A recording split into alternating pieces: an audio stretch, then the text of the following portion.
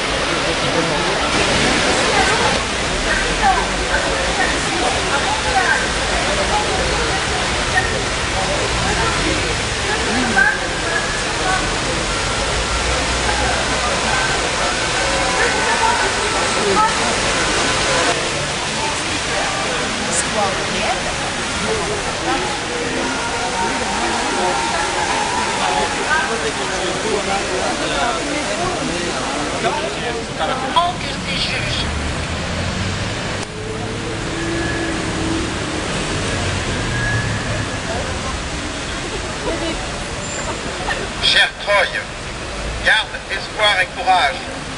De plus en plus de personnes ont décidé de soutenir ton cas.